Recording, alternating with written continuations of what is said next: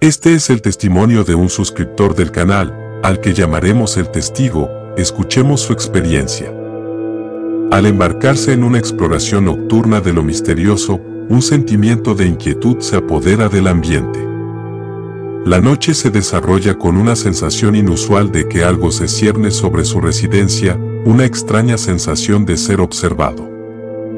Cuando el reloj marca las 2 a.m., se desarrolla una narrativa intrigante que toca un fenómeno raro y a menudo inexplorado, la percepción de estar bajo el escrutinio de entidades desconocidas. Esta experiencia única, aunque compartida por unos pocos elegidos, plantea profundas preguntas sobre las fuerzas invisibles que actúan en nuestras horas nocturnas. La narración introduce el curioso fenómeno de sentirse observado, un sentimiento que trasciende la mera imaginación y ha sido reportado durante las horas más oscuras de la noche.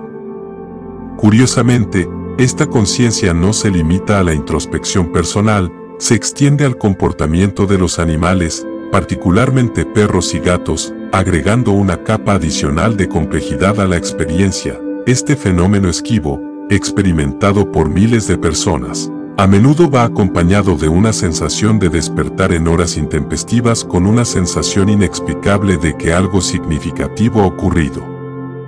Sin embargo, a pesar de la prevalencia de tales encuentros, el tema permanece en gran medida inexplorado en el discurso científico serio. El escenario se describe como un espacio circular que recuerda a un platillo, equipado con camillas de alta tecnología y ocupado por varios personajes. Lo que distingue a este relato es la falta de seres extraterrestres tradicionales, no hay grises ni entidades parecidas a lagartos. En cambio, el testigo se encuentra con una figura humanoide, una mujer con una apariencia llamativa. Sus rasgos incluyen piel pálida grisácea, ojos negros y cabello largo y castaño oscuro peinado hacia atrás, vestido con un traje de estilo militar. La trama se complica cuando la mujer humanoide, desprovista de los rasgos estereotipados asociados con los encuentros extraterrestres, instruye al grupo a formar una fila horizontal. Curiosamente, empuña una tableta holográfica avanzada, que muestra un nivel de tecnología mucho más allá de las capacidades humanas actuales. La mujer humanoide se refiere colectivamente al grupo como humanos, desafiando las nociones tradicionales de encuentros extraterrestres.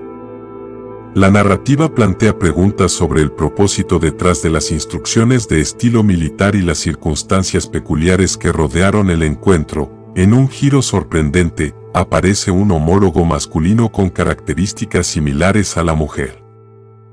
Intimidante y aparentemente de rango superior, este hombre refuerza la instrucción de estilo militar.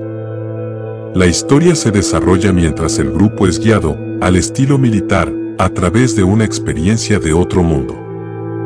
La historia se convierte en una exploración fascinante de cómo se podría instruir a los humanos dentro de un marco militar alienígena, lo que hace que este relato sea aún más desconcertante es el estado emocional del testigo durante el encuentro.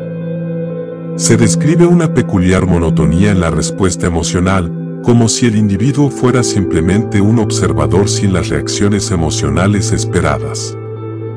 La historia incita a la contemplación de la posible manipulación de las emociones humanas durante tales encuentros y las implicaciones más amplias de este fenómeno psicológico.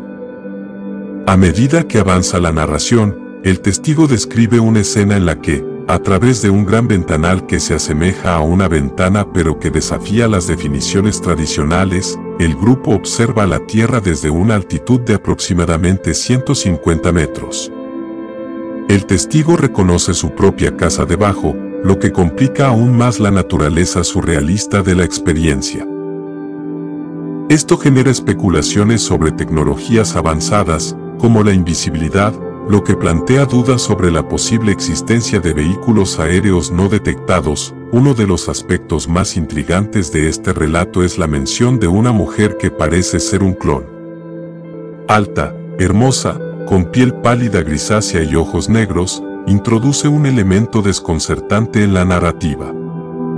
La historia plantea una pregunta que invita a la reflexión, ¿Por qué crear clones de individuos y para qué sirven estos clones dentro del ámbito más amplio de los encuentros extraterrestres? El testigo se toma un momento para reconocer la naturaleza especulativa de su relato, reconociendo que ciertos elementos pueden desafiar la comprensión convencional. La naturaleza desconcertante del encuentro deja al testigo con preguntas persistentes y una sensación de inquietud. Se hace evidente que el testigo no está solo en la lucha contra lo inexplicable y busca la validación de aquellos que pueden haber compartido experiencias similares.